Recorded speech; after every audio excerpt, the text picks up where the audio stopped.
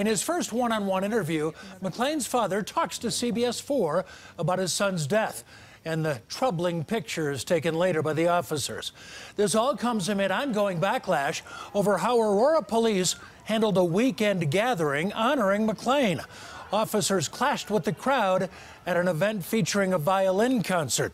We have team coverage of a police force facing intense scrutiny. Jeff Todd talked with Aurora's mayor about reform.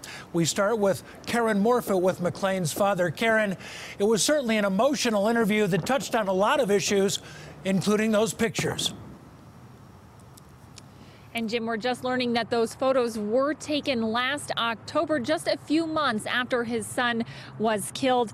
And we're learning that they reportedly happened right here at this memorial, just a few feet from where he was arrested. Tonight, his father, who has yet to see those photos, as the public has yet to see those photos, is calling for action.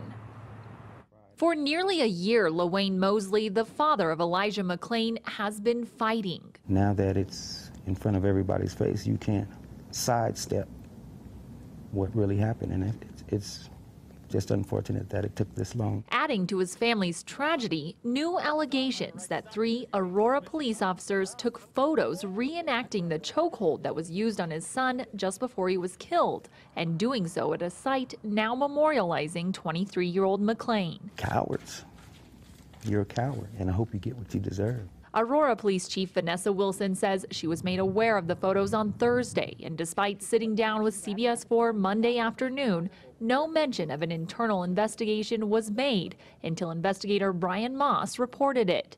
In a statement Tuesday, Wilson said they will release the photos and names of those involved when the investigation is complete. Mari Newman, the attorney for the McClain family, says it's a new low for the department. The people in Aurora should be petrified if those are the people who are charged with the protecting and serving them. Mosley says the officers taking photos and those involved in his son's death need to be held accountable, and he won't stop fighting until they no longer carry a badge. We're tired of it. We're not going to take it anymore. We're coming for you cowards.